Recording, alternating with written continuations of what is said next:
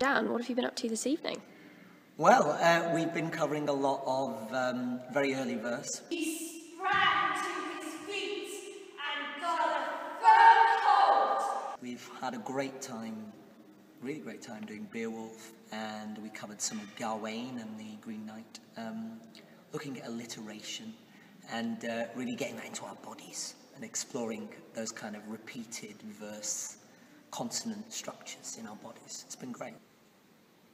He cracked and mauled a man with flesh, bit into his bone marrows, bolted down his blood, and gorged on him in lumps, leaving the body utterly lifeless.